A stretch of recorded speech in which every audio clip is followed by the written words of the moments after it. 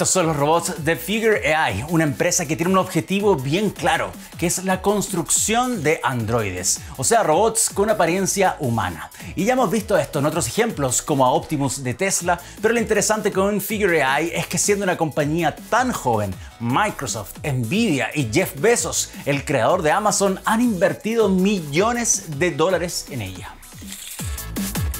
Definitivamente el desarrollo de los robots humanoides es la gran frontera del mañana, más de lo que significó por mucho tiempo como partes de equipo de investigación y desarrollo mecánicos o incluso estrategias de marketing en ciertas empresas. Ahora apuntamos a una convergencia entre el desarrollo de la ingeniería robótica y las capacidades del software de inteligencia artificial, incluso entendiendo que estos androides tienen un propósito bien claro, ser sirvientes. Y así como Tesla quiere que su Optimus exista para que el humano no haga tareas aburridas o repetitivas, también está GR1, el robot chino que quiere ser enfermero. Y en ese sentido, Figure AI no se escapa de esta misma meta, buscando que su robot sí o sí sea un humanoide que piense por sí mismo y haga tareas de propósitos generales, desde hacer el café en la casa hasta cargar cajas pesadas en una bodega.